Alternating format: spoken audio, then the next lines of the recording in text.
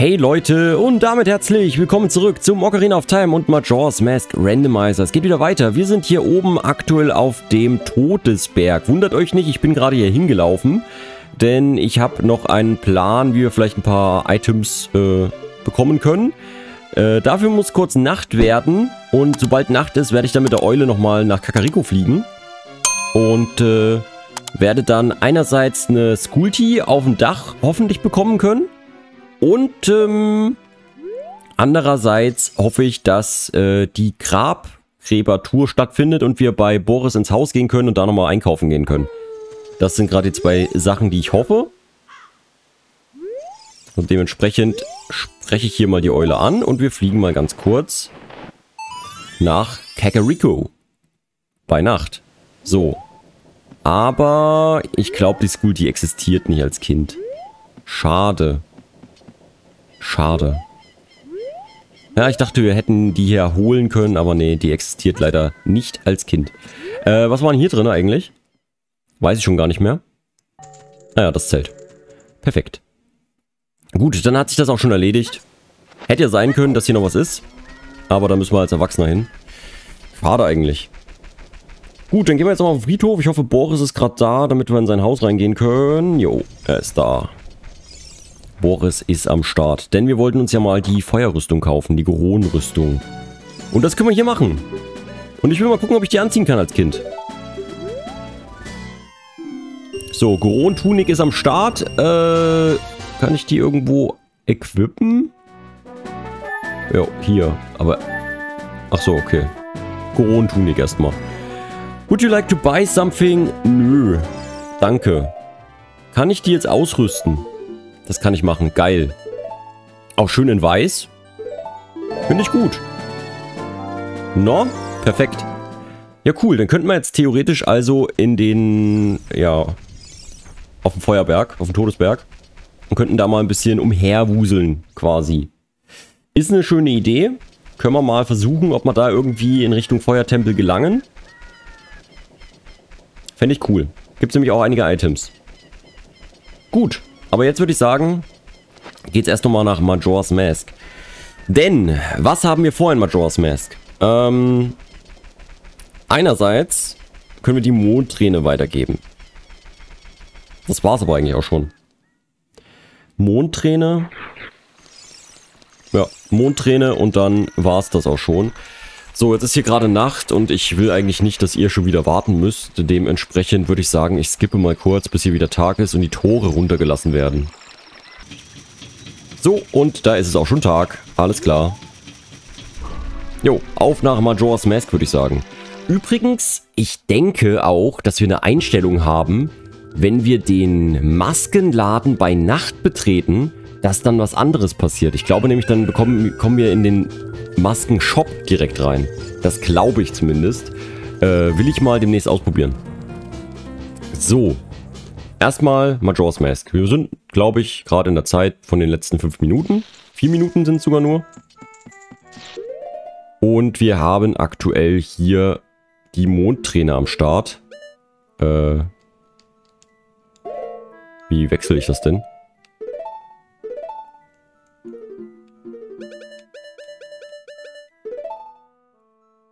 Das ist eine sehr gute Frage, wie ich das wechsle. Ich dachte eigentlich so. Hä?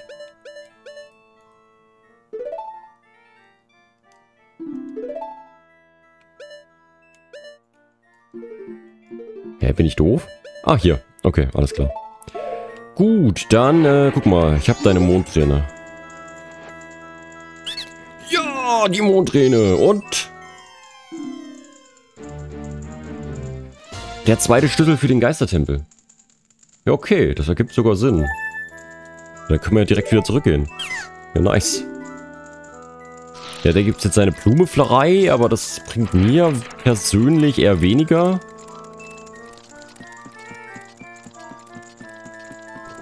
Wenn ich ehrlich bin. Ja, wollen wir das nochmal kurz ausprobieren? Also theoretisch können wir jetzt wieder in den Geistertempel rein und könnten da vielleicht noch ein Item ab Sahnen, aber ich würde gerne mal ausprobieren, was passiert, wenn wir hier bei Nacht reingehen. Ob das wirklich anders ist. Ich habe das so irgendwie im Hinterkopf, als ob das so wäre. Als ob ich das in den Einstellungen irgendwo gelesen habe. Dementsprechend, ich würde hier auch nochmal einen ganz kurzen Cut machen, äh, wenn wieder Nacht ist. Bis gleich. Und da ist es auch schon Nacht, liebe Leute. Also zumindest muss nur noch der Wolf heulen. Und dann sollte es losgehen. Ja. Ja. Ja. Perfekt. Okay, ähm, eine Frage, die ich mir auch stelle. Können wir denn eigentlich das Masterschwert jetzt zurückbringen? Weil wir haben ja jetzt das Masterschwert. Komische Frage, glaube ich. Nee, okay. Funktioniert nicht. Funktioniert nicht. Alles klar. Also, wenn Nacht ist, ist nichts anderes. Gut. Dann hätte ich jetzt gesagt, wir teleportieren uns mal ganz kurz in die verlorenen Wälder. Ich habe nämlich noch eine andere Idee gerade bekommen. Ähm...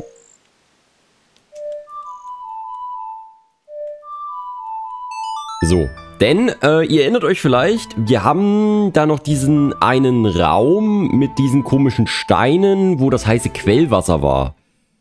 Wir haben ja jetzt in Majora's Mask ein paar Bomben, ein paar Grappelminen, fünf Stück. Da könnten wir jetzt nochmal diese Steine wegschießen und gucken, ob da vielleicht was Schönes bei rauskommt. Wäre jetzt nochmal so eine Idee für, von mir. Ich habe nämlich schon nachgeschaut, dieser Raum war in den verlorenen Wäldern. Und da werde ich mal ganz kurz vorbeigucken. Ähm, in der Hoffnung, dass da vielleicht was Schönes drunter ist. Ansonsten gehen wir wieder in den Geistertempel.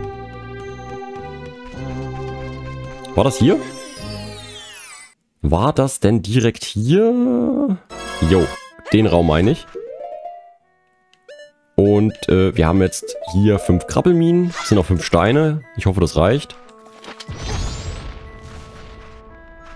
Da war nichts drunter. Fetter Degu-Stick. Ich weiß gar nicht, ob da allgemein überhaupt was drunter ist. Doch, guck mal, da ist eine Schatzkiste. Jo, schön. Yay, das hat sich ja gelohnt. Ja, das hat sich total gelohnt. Ja, okay. Alles klar. Und raus hier. Shit, ey. Wir haben halt auch nur drei Minuten, ne? Gut, dann, äh, ja. Geistertempel. Let's go. Frage ist halt, bekommen wir da was Gutes? Da gibt es halt auch nur ein Item jetzt, theoretisch.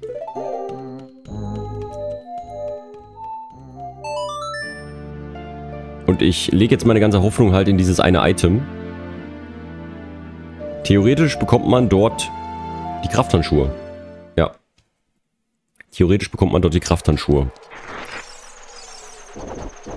Ob die jetzt auch so dort sind, wage ich zu bezweifeln. Aber es ist aktuell so ein bisschen unser einziger Anhaltspunkt, sage ich mal. Ansonsten hätten wir jetzt halt noch die Aua. Den Feuertempel, den wir vielleicht irgendwie erreichen könnten. Aber halt auch nur vielleicht. Und wenn halt alle Stricke reisen, müssen wir in Majora's Mask halt wirklich zurückreisen, ne? Dann ist das halt so. Dann müssen wir gucken, dass wir irgendwelche Quests erfüllen in Majora's Mask, die wir jetzt bisher noch nicht erfüllt haben und irgendwo vielleicht die Stadturkunde abgreifen können, damit wir zumindest erstmal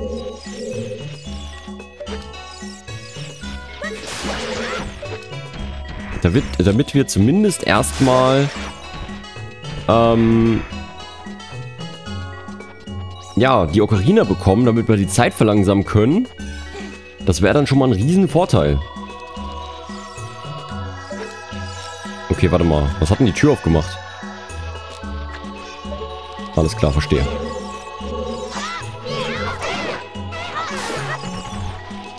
So. Wir brauchen einmal ein paar Krabbelminen, bitte. Viele Krabbelminen wir auch einfach haben, ey. Unglaublich.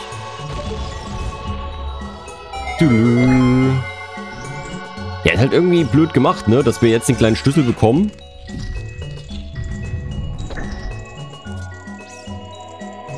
Quasi so ein Hin- und Hergelaufe. Ist irgendwie ein bisschen komisch gemacht, finde ich. So. Weil wir haben ja auch die Mondträne hier bekommen. Und dann sind wir mit der Mondträne zurückgegangen, haben einen kleinen Schlüssel bekommen. Und jetzt müssen wir wieder hierher latschen. um den kleinen Schlüssel zu benutzen. Ist ein ziemliches Hin und Her. Aber naja. Wir sind mal nicht so. Und hoffen, es geht gut weiter. So, theoretisch ist es ja nur der eine Raum noch und dann sind wir fertig.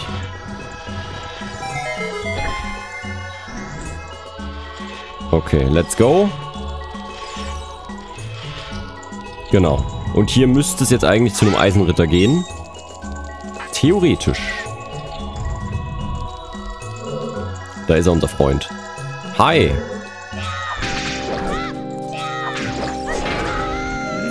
Wow, wow, ich glaube, wir sollten mal auf Nummer sicher gehen.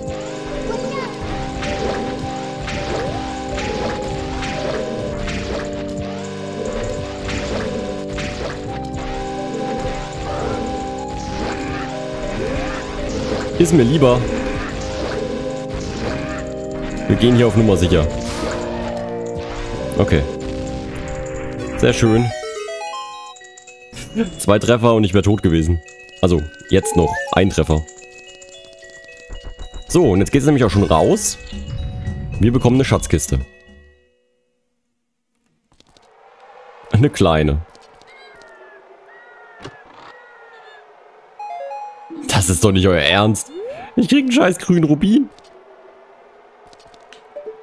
Äh, da liegen auch nur 20 Rubine und ansonsten, ja, war's das halt auch, ne? Okay, hat sich ja total gelohnt. Aber zumindest wissen wir jetzt, dass da nichts mehr war. Wow, okay, was können wir denn noch machen? Also ich bin jetzt gerade wirklich so, dass ich sage, ich will vielleicht wirklich mal im Todesgrader versuchen, da irgendwie mich rüber zum Feuertempel zu backen. Hm.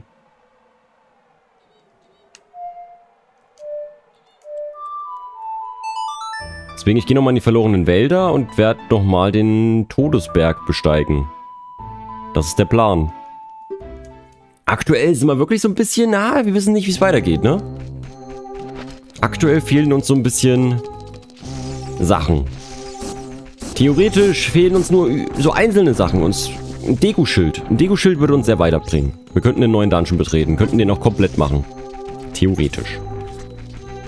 Ähm, was fehlt uns noch? Was könnten wir noch gebrauchen? Was war komplett... Eine Flasche mit ähm, dem Brief von Rudo. Damit könnten wir auch komplett eskalieren. Ähm, mit einer Magieanzeige für Majora's Mask können wir auch richtig viel machen. Mit Zeldas Wiegenlied könnten wir richtig viel machen. Und alle solche Sachen. Hm. Na gut. Gehen wir erstmal hier rein. Wir haben jetzt halt das Kronenarmband. Das nützt mir halt persönlich jetzt gar nichts, weil ich habe ja schon die ganze Zeit Bomben. Warte mal, hier nehme ich ein paar Items mit. Oder Geld, okay. So langsam brauchen wir wieder ein bisschen Kohle. Ja, ihr habt mir schon erzählt, dass hier ist ja die Sims-Musik, ne? Ste steht ja auch da oben, logischerweise. Ich gucke nur immer nicht drauf. Gut, wir erklimmen nochmal den Todesberg, Leute.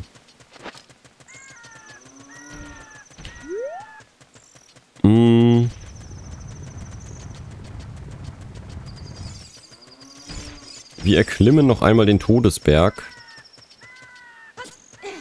Und gucken mal, ob wir uns irgendwie auf eine ganz merkwürdige Art und Weise zum Feuertempel backen können. Ich weiß nicht, ob es funktioniert. Wir probieren es mal. Hier war auf jeden Fall auch nichts, denke ich. Sonst hätte ich es schon gekauft. Deko-Schild brauche ich halt unbedingt, ey. Gibt so viele einzelne Items, die mir krass was nützen würden. Vielleicht sind auch irgendwo noch einzelne Rubine, die einfach...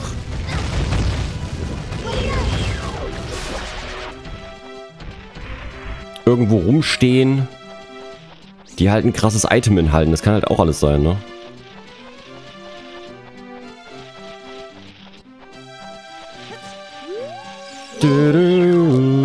geht ja zum Glück alles ganz schnell. Und wir hoffen einfach mal das Beste, dass wir im Todeskrater was Schönes auf die Ketten bekommen. Gut, äh, Part geht auch nicht mehr so lange.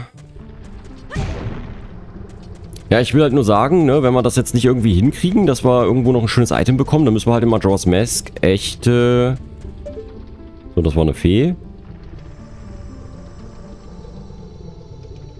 Ähm, die Zeit totlaufen lassen und dann hoffen, dass der nächste Tagesrhythmus halt besser wird. Okay. Also an sich, so viel Spielraum hat man hier gar nicht. Ich könnte hier rüberspringen. Ich glaube aber nicht, dass das viel bringt. Nee. Das bringt schon mal gar nichts und das macht, glaube ich, ein Herz Schaden, ne? Hat das ein Herz Schaden gemacht? I'm not sure.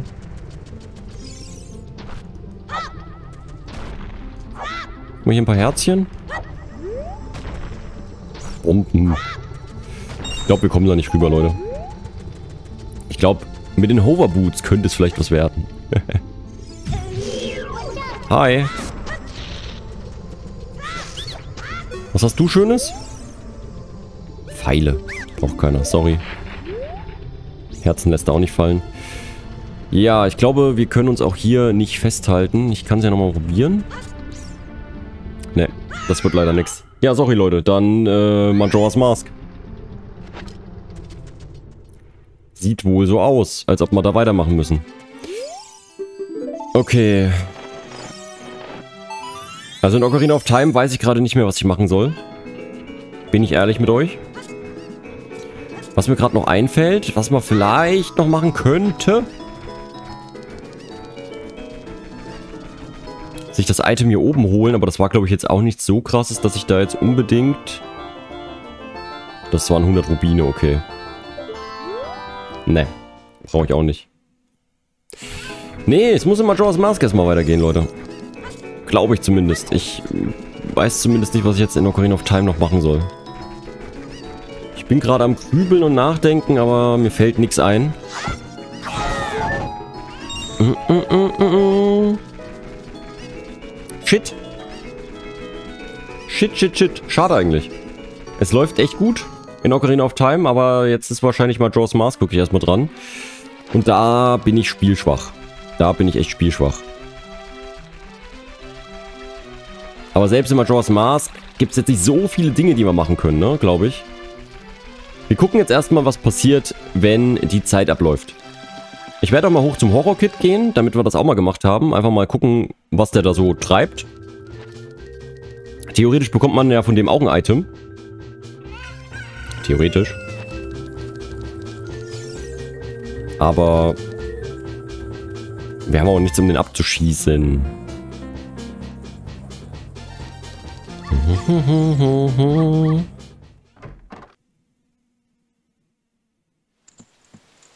So. Star Ocean. Was könnte man denn hier noch machen? Kann man hier überhaupt noch was machen? Ich habe eine Idee. Klar, man kann doch noch zu, äh, zu dem Schwertmeister... Ach, warte mal. Das ist ja alles getauscht. Wir können nicht zum Schwertmeister. Der Schwertmeister hat ja auch am letzten Tag äh, krasse Sachen versteckt. Ne? Falls ihr euch erinnert. Der ist ja auch richtig krass drauf. Aber theoretisch kann ich bei ihm reingehen. War ich bei dem überhaupt schon mal drin? Ach ja, das ist das Bogenschießspiel. Kann ich mal spielen? Ah, okay. Da, brau da brauche ich wirklich einen Bogen. Das ist ja krass. In Ocarina of Time geht's ja so. Oh, bei dem kann ich auch reingehen. Ach, das ist der Kuriositätenladen. Sorry. Stimmt, der hat ja auch am letzten Tag was, ne?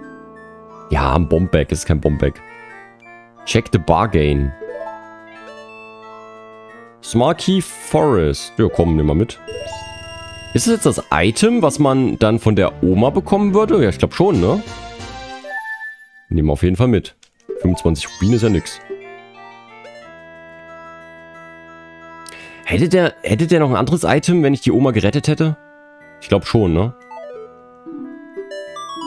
Ah ja. Normalerweise hätte der dann die Maske der Nacht. Aber jetzt ist es eine Bombentasche. Frage ist, hätte der... Der hätte bestimmt nochmal ein anderes Item. Ich sollte auf jeden Fall noch das Geld ablegen. Das wäre, glaube ich, eine ganz nice Idee. Hier, das nützt mir halt auch gar nichts. Das denn? Da bräuchte ich theoretisch den Raum, wo der Deko-Kerl drin ist. Da könnte ich jetzt was... Ne, könnte ich auch nicht. Brauche ja Ikana. Brauche ja Ikana, das bringt mir ja auch nichts. Ah ja.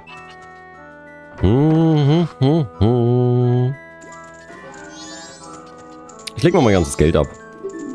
Damit das wenigstens nicht verloren geht.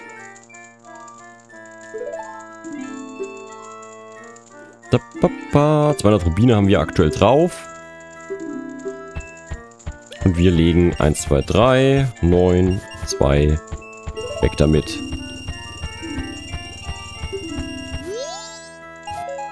Hey, super. Noch einen grünen Rubin erhalten. Wahnsinn. Hey. Jo, können wir sonst noch was machen? Bin gerade überle am überlegen und überlegen. Ob es hier sonst noch irgendwelche Dinge gibt, die man holen kann. Was macht Carfi eigentlich in den letzten Stunden? Der ist eigentlich... Der ist eigentlich auch nicht zu Hause, ne? Theoretisch.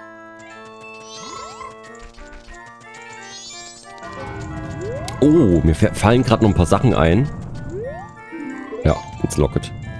Normalerweise hat man hier verschiedene Rubine unten liegen, je nach Tageszyklus. Da sollte man vielleicht auch nochmal vorbeigucken. Erster Tag, zweiter Tag. Am zweiten Tag sind die dann, glaube ich, da. Aber ansonsten haben wir, glaube ich, jetzt auch nichts mehr, was wir noch machen können. Okay, wollen wir nochmal zum Horror-Kit hochgehen? So, komm, das sammeln wir auch mal ein. Wir gucken uns nochmal das Horror-Kit an.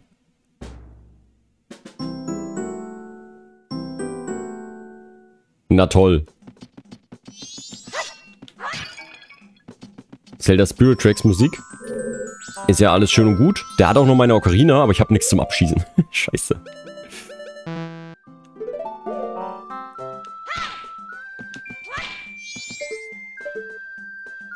Ich kann den nicht abschießen. Das ist ärgerlich. Wir können mal so ein schönes Item holen, ne? Bei dem.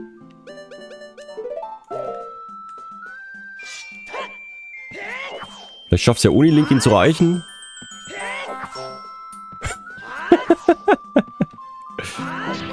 Jo, ich hab, ich hab die Gunüsse.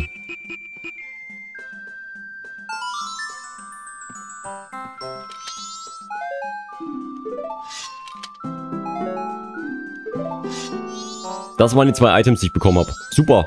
Normalerweise Ocarina und äh, Song of Time, ne? Und das war jetzt das, was ich bekommen habe. Wahnsinn. Okay, Leute, ich würde sagen, wir skippen noch mal kurz dahin ähm, zur letzten Minute, denn ich kann sowieso hier nichts mehr ändern gerade. Und äh, dann gucken wir mal, was passiert. Bis gleich.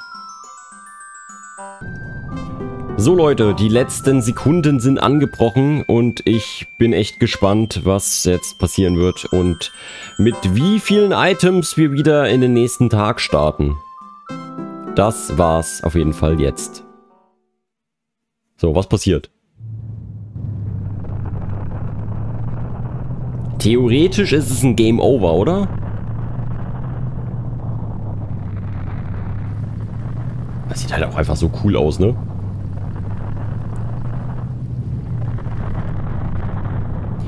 eigentlich muss man sich das mal angucken, ne? Wie so die, der Mond auf die Stadt fällt. Aber theoretisch ist damit ja die ganze Welt zerstört. Es ist ja nicht nur die Stadt, die kaputt geht. Mal ganz ehrlich, was ist denn... Der Krater... Das ist ja, es wird ein riesen Krater. Das geht ja nicht nur auf die Stadt. Oh, was passiert denn jetzt? Achso.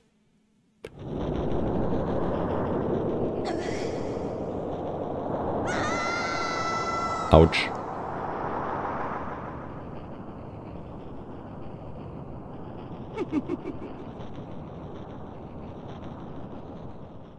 Hahaha. okay, erster Tag. 72 Stunden verbleiben.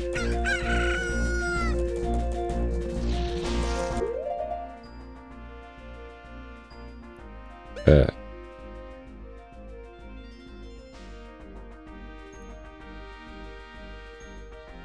Ähm. Warum haben wir jetzt die Landurkunde? Kann mir das mal jemand sagen? Seht ihr das hier?